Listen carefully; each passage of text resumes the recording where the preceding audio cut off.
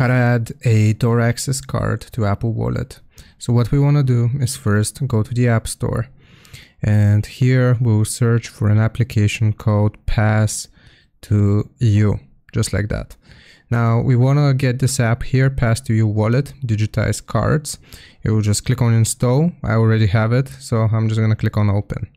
Now from within the app itself, we will click on the yellow or orange, sorry, plus sign here and then we will choose apply a pass template. Now we will use the search bar at the top right to search for door access and you will find this template here. So you want to click on it. If this is your door access, uh, you can customize it. So here you can change all the different fields. I'll just click on done.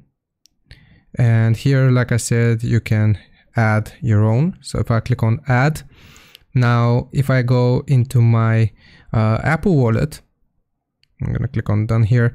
As you can see, I have this uh, door access card stacked right here. So I hope this helps you out. Leave a like and sub and I'll see you next time.